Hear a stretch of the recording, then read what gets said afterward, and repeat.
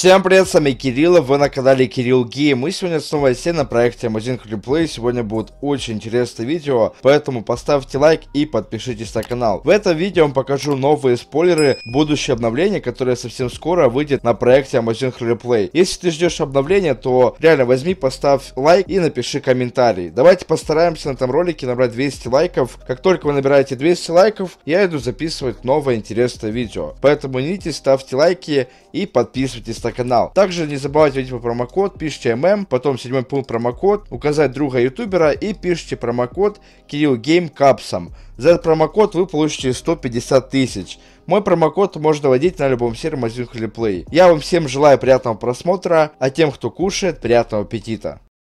Итак, пацаны, первый скриншот это на здание, скорее всего в Арзамасе, с надписью «Анархия». Я почитал перевод данного слова, оно довольно-таки интересное. Перевод у вас есть тоже на экране. И, скорее всего, это здание будет относиться к криминальным организациям. Там будут делать э, какие-то запретные вещества, либо какое-то оружие, я не знаю. Скорее всего, что-то будет там интересное, потому что, я думаю, не просто так оно здесь стоит. Также есть так чекпоинт, и возле этого здания стоит у нас машина, но я думаю, машина никакого отношения к этому зданию не имеет. Их просто просто поставили для красоты. Следующий скриншот это у нас получается пещера, которая будет вести на воинскую часть. То есть раньше на Мазинге была пещера под Батырева, которая вела на военную часть и все туда в основном ходили. Сейчас же ее нету, но в новом обновлении будет новая пещера полностью переработана с новым, так сказать, интерьером, ну не знаю как это сказать, с новым интерьером, там новые таблички будут, всякие балки, скелеты, огонь и так далее. Короче, выглядит будет она очень даже хорошо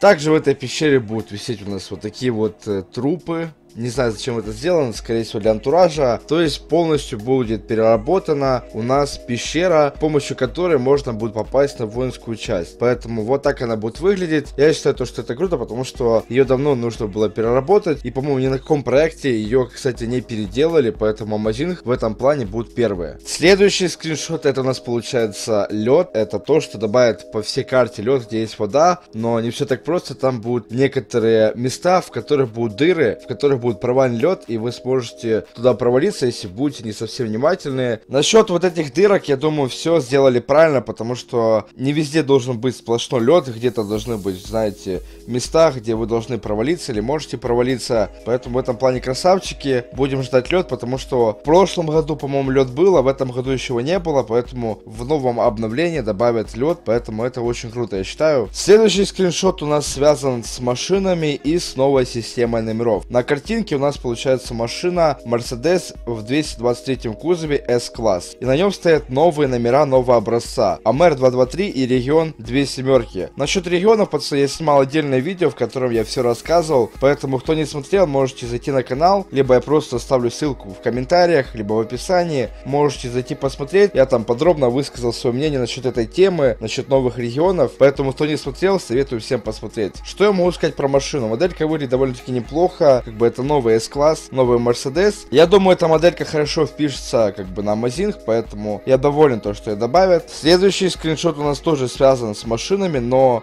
не с новыми машинами, а с новым тюнингом, который будет доступен, скорее всего, на все машины, которые есть на проекте, а именно тонировка.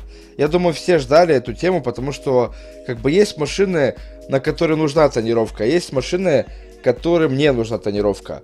Поэтому сейчас, когда выйдет обновление, вы сами будете убирать, нужна ли вам тонировка или не нужна.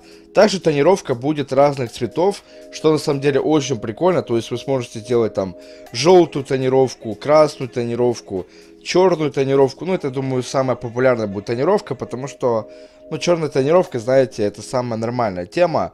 И также еще проходит голосование насчет этого, насчет тонировки. То есть хотят сделать такую систему, чтобы тонировка была легальная, либо нелегальная. То есть, если легальная, то вас мусора не будут трогать, а если нелегальная, то вам смогут выписать штраф за тонировку и также само смогут ее снять, эту тонировку, которую вы поставите в СТО. И скорее всего, да, эта тонировка будет доступна в СТО. Сколько она стоит, остается как бы загадкой. Следующий скриншот связан с новой работой, а именно уборщик снега.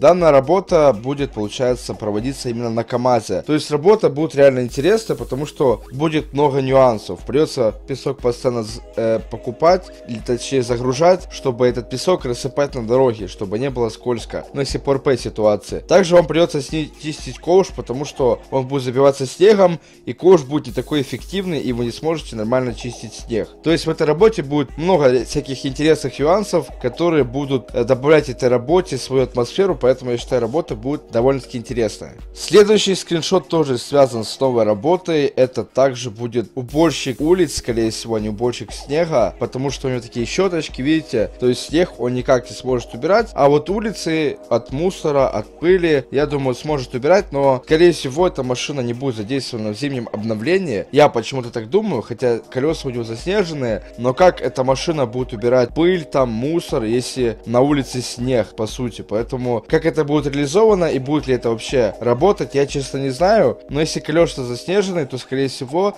эта машина будет использоваться в новом обновлении. Ну и последний скриншот у нас связан с игрой Киберпанк 2077. То есть Amazon взяли машину из этой игры и реализовали ее в GTA KRMP. Но никто не знает, что с этой машиной будет. Есть несколько вариантов. Первое, эту машину добавят рулетку. Второе, эту машину разыграют в группе ВКонтакте и на один сервак будет одна машина. Ну и третье, эту машину добавят куда-то на ивент. Короче, есть три варианта. Я не знаю, какой будет точный вариант, но машина реально такая интересная. То, что все-таки эта игра новая, как бы. Она сейчас на хайпе, популярная игра. Все в нее играют, хотя там много багов, в принципе. Но реально игра как бы популярная, поэтому машину вот эту реализовали в GTA RMP. Но что с ней будет конкретно, это остается загадкой.